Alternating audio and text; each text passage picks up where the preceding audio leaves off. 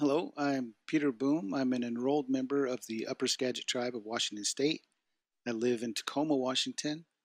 I grew up on the Northern Ute Reservation in Utah, but I also spent a number of years on the Quinault Reservation, the Squaxin Island Reservation, and currently in Tacoma, we live near the Puyallup Reservation, which is my wife's tribe.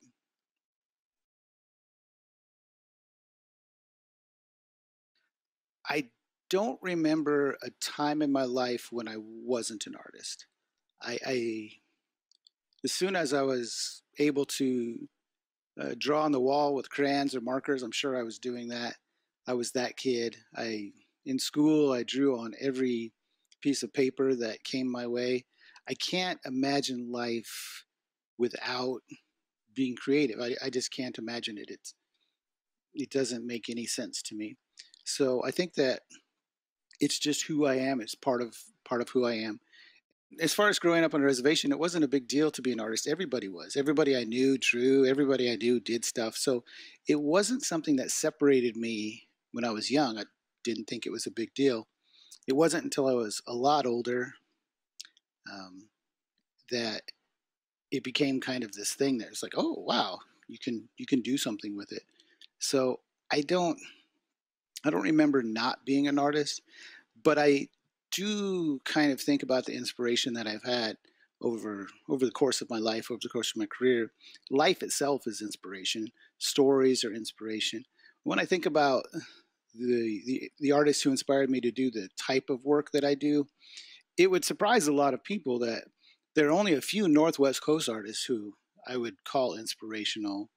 Um, Stan Greene, Susan Point, Andy Peterson, Marvin Oliver, those those folks all inspire me, and I've I've had the pleasure and opportunity to work with almost all of them.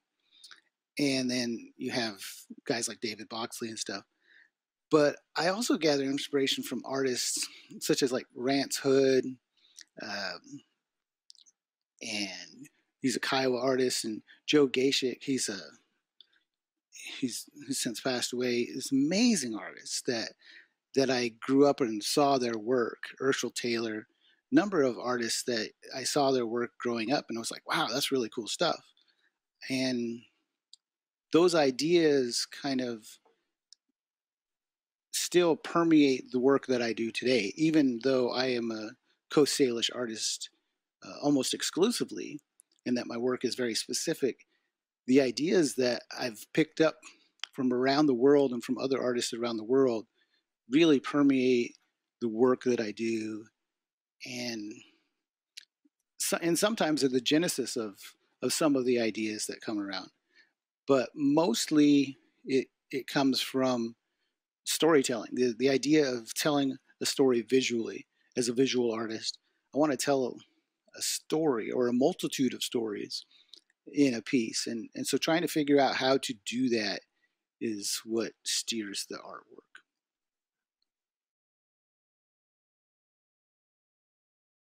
So I am a I'm a Coast Salish artist, and that's a very specific design style within a broader cultural context.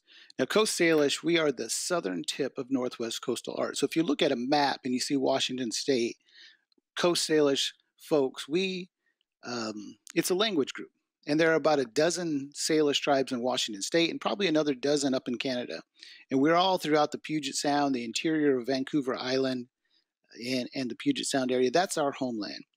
And so it's a really distinct design style within the broader context of Northwest coastal art.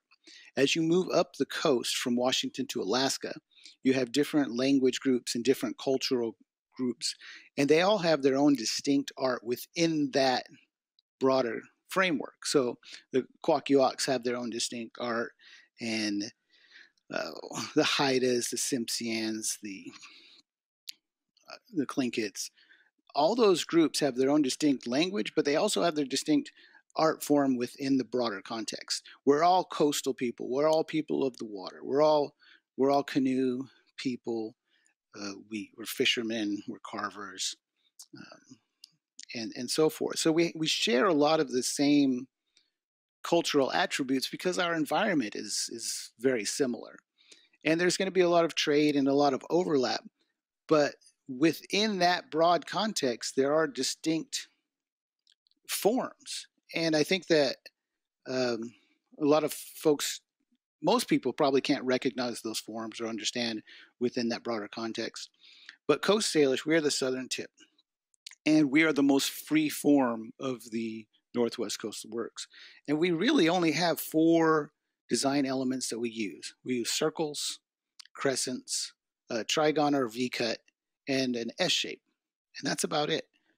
And so within those forms, those four forms create everything that we do. And so that's that's kind of what we're restricted to. So my culture is a reflection is reflected in my work, but it is the guiding influence of my work. I couldn't do what I do without that influence and without that framework. At the same time, I think that artists also we steer culture in a lot of ways. We tell our stories today. We, we're not a stagnant culture. We're not a static um, art form. And so we adapt and change to changing times. We adapt and change to changing materials, to new ideas, to our lives continue to go. So our work is a reflection of what's going on in our lives, which is a reflection of what's going on in the world, but it's still within that framework. So I think that there's this interplay between art and culture. They they reflect on each other, but at the same time art often helps steer culture in a certain direction. And when we look at ancient cultures and historic cultures and maybe even anthropology, we don't look at what they're uh, the thing that that we see and the thing that's left over is the art. And it's from that art that we can understand what their political motivations are what their societal situations were. And so art is a direct reflection of culture and vice versa. So i, I work at a lot of mediums. I'm um, primarily known as a printmaker eh, and that comes through a lot I, I print by hand, so I cut my stencils by hand. I, I pull my screens by hand. I'm a screen printer. I also do embossing, in which I carve a, a master and run it through a an old intaglio press that is about yay big, but weighs about the same as if you did a bus. And um, but the things that I do is is I try to do everything by hand. I like I like to be hands on. I don't digitize my stuff until after it's already finished and done. Then I have somebody else do that for me. Um, I'm really a hands-on artist. I like to just do do things. I'm a carver, a painter, and it, all of it is the same thing to me. I don't really differentiate between mediums. I just think, well, it's it's how I can tell a story. It's how I can create this this idea. And and there are different ideas that require different mediums. I think that uh, for me, it always starts with a sketch, and so I walk around. I I have a sketchbook with me everywhere I go, most of the time, and I'll sketch something out. If I don't have a sketchbook, I have a writing utensil, a pen or a pencil, and napkins are always around, and there's always something to write on. So it's one of those ideas of constantly working on putting an idea down. It might now later on I might look at that and go, "What was I thinking?" or "That was a terrible idea." But I, sometimes I'll go through old sketchbooks and go, "Wow, that was a really good idea. It was poor execution, but it was a great idea." Now I can take that idea and, and with the skills I've I've I've acquired since that idea originated, I can uh, do something else with it, or I can add to that uh, original idea. And so that happens with with me a lot, where things will percolate for years and years and finally it'll be like oh this is how i should should do that. Oh i should re- really revisit something. So um, i'm constantly creating but it's this kind of circular motion where i'm creating old things that i've been thinking about for a while. Sometimes a new idea will just come and just you can put a new piece out just instantly. It's really really quick really effortlessly. Others take take a while so my creative process might be or is likely different from most. My creative process is one that I am just constantly working on something and thinking about things and trying to implement them in, in a different way. And then I have a tendency to work in batches or groups where as a printmaker I like to print for a number of times. So I'm I'm currently in the process of printing about four different pieces right now. And I have another dozen lined up that I'm going to try to finish by the end of the year. So, and I hadn't printed until this point in the year. I've been working up to it. So it's almost an assembly line process at a certain point where I get the idea finished. Now it's a now it's a matter of executing it and turning it into a print form. So I cut out a stencil, and there's a stencil for every color, and you have to register, get them all lined up, and then you have to cut paper. I'm actually waiting on a paper order now, so I, I will be printing some new pieces within the next couple of days. I finished one last night, so I'm, I'm pretty excited right now about the creative journey.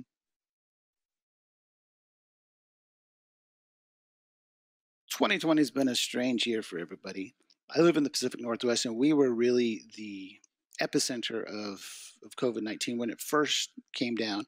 I work uh, for the Tulalip tribes. I'm also an attorney, so I, I work for the Tulalip tribes as a defense attorney in their drug treatment court.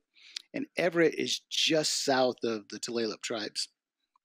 And Everett was the first uh, city in the United States with a COVID case. And then there were people within Tulalip who who contracted COVID right away. And so Washington State, we we were locked down right away, just one of the very first. And so I know people who contracted COVID. I saw it firsthand, and it's pretty terrible. And it was terrifying to know how easily it was spread and contracted. And so, it Washington, we we experienced it first, and we, we experienced it hard and we're still experiencing it. Our numbers are went down and they're starting to go back up again. The thing about lockdown was for me, it actually happened at a interesting time. I I had been working on or working towards a number of uh, a couple of solo exhibitions. I had been working on a, an exhibition in France that I was going to go to. I'd been working towards a number of shows, but I have been a working artist for a number of years and I haven't really slowed down enough to like take a look at my studio and see what shape it was in, to look at my inventory and see what shape it was in, and to just reflect on what it was I, I want to do. And the lockdown and the subsequent cancellation of everything that I was doing artistically, everything was canceled.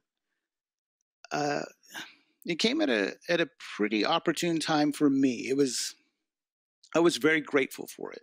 I know a lot of people were and still are very anxious. Um, artists, by definition, we spend a lot of time alone, and so it's it's not that big a deal for us to be kind of locked up and be alone. It wasn't that big a deal.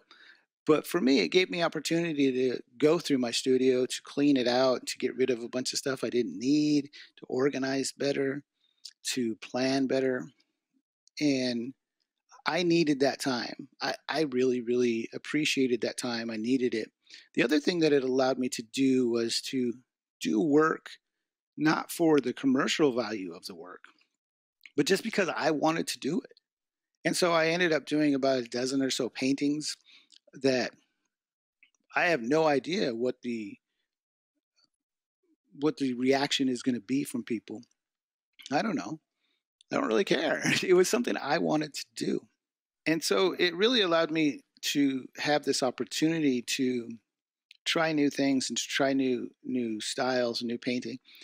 And so I knocked out a, a number of pieces. I experimented uh, experimented in in some ways that I probably I just wanted to try different stuff. I did a, a necklace. Is some, I don't do jewelry generally, but I created a necklace that's very unique, um, and so I was pretty pleased with being locked down for a while. I think that financially, it's it's, it's difficult. It's been a everything's been canceled. My sales have probably maybe like two or three percent of what they normally were. So I, it's a 98% loss if you look at it in percentages. Um, so that's been difficult. I try not to react to popular culture. I try not to, to react too much to the political leanings of things. I know that folks get really upset when they learn about uh, mistreatment and disparate treatment of peoples. But that's something that indigenous people have been dealing with 500 years now. So it's not new to us. Uh, unfair situations, it's not something that's new. So I try not to put too much of that into my work. I'm really more interested in telling stories of either my tribe, my family, or what's going on environmentally. Those are the those are things that I I really try to put into my work. I want my work to be more timeless than timed. It's I I don't like to put dates on things so much. I would rather a piece be you could hang it on a wall for 50 years and still be relevant. Um, I'm not not really interested in protest art so much. There are other avenues that I can use to address those issues, and and I don't think that for me personally, it's it's not something that really drives me creatively and artistically. I'm a lot more interested in in telling different types of stories.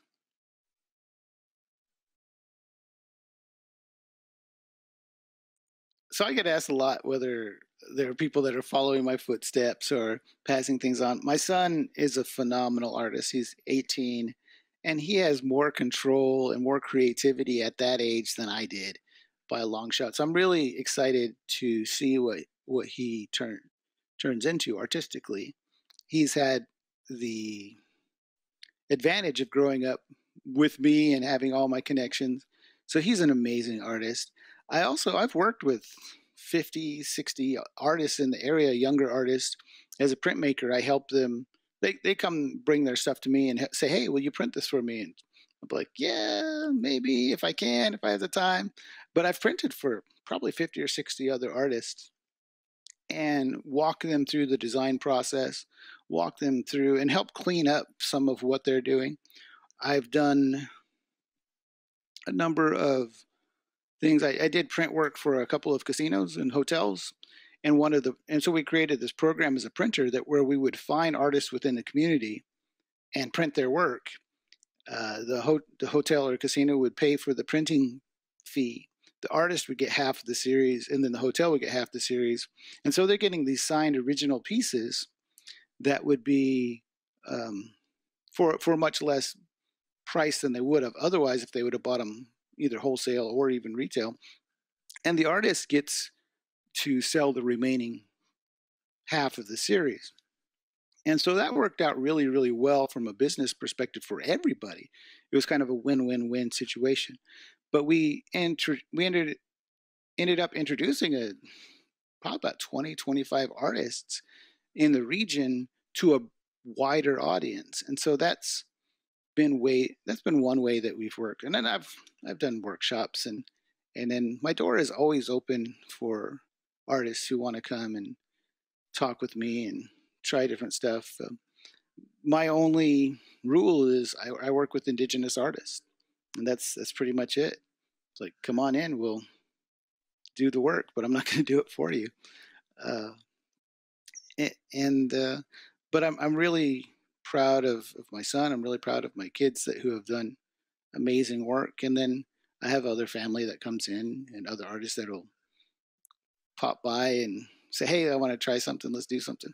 And so I think that that's just kind of a common practice with indigenous artists everywhere. Is that our doors are open, our studios open. Come on in. Let's try this out.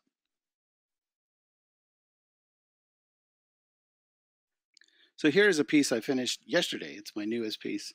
You are the first people in the world who have seen this piece. This is a an eagle. It's an embossed serigraph. Just finished with the embossing. I, I haven't titled it yet. got a couple of names I'm choosing, but it's about changing direction, about pivoting and, and changing in life. We have a lot of eagles here, and when you see them fly and they'll chase something, they will change direction really quickly and they'll flip their wings from horizontal to vertical.